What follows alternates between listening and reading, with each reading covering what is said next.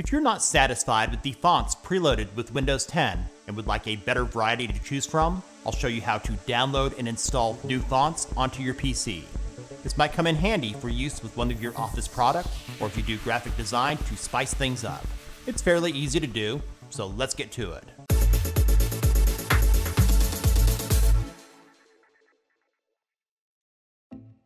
There's a ton of websites to download fonts online, both free and paid.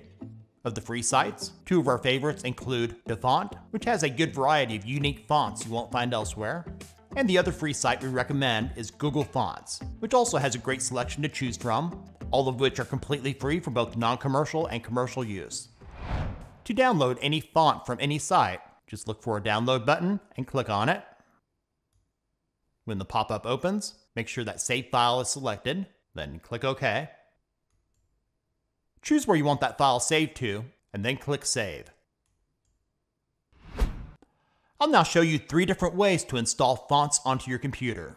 First of which is by using the right-click context menu. Depending on where you downloaded your font from, you may notice it's in a zip folder. To unpack it, right-click the folder and select Extract All. Choose the location for those files, I'll just leave these in the downloads folder and click extract. Now head on over to that folder with the unzipped files. Look for any files with a TrueType or OpenType format. TrueType is .ttf and OpenType is .otf. Right click on the file and you'll see you have two choices. If you select install, it'll install it for your account only. Or if you have administrator access, you could select install for all users. This will make that font available for everyone that uses your computer.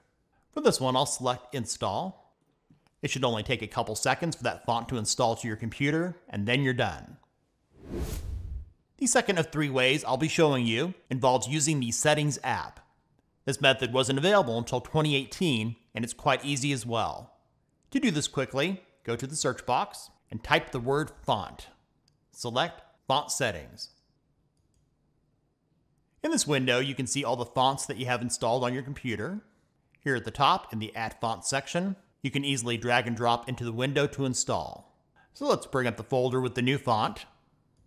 Select it. Left click and drag that fonts file to the settings window and go to the box that says drag and drop to install. When you see the word copy appear on the screen, let go of the file and your font will now be installed. So let's go into that window and here it is. It's called Alfa Slab One.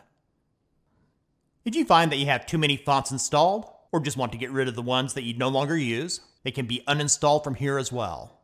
In the Available Font section, click on the font that you no longer need. In this window, just click on Uninstall. In the pop-up window, click on Uninstall again. And now it's gone. If you prefer the old school methods, I'll now show you how to add fonts using the control panel.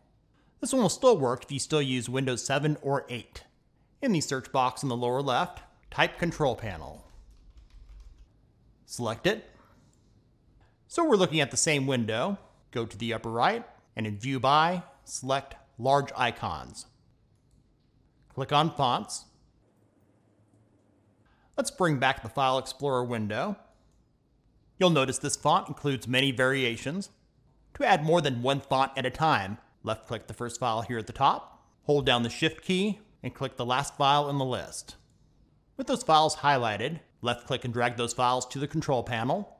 Just like with the Settings app, let go when you see the word copy. And of course with more files, it takes a little bit longer. To quickly find any font that you've installed, go to the search box in the top upper right and start typing the name of that font. And here's the font we just installed. To uninstall any font that you no longer need from the control panel, left click on the font, and from the menu bar here at the top, click Delete. Or you could just simply right click that font and select Delete. Then select Yes to confirm, and that's it. And now it's gone. Thanks for watching. Links to the websites mentioned are in the description. If this video is useful for you, give it a thumbs up and share with others. And if you're new to our channel, be sure to hit subscribe and click the bell to stay up to date with our newest videos for Windows, along with other tech related stuff here on TechGumbo.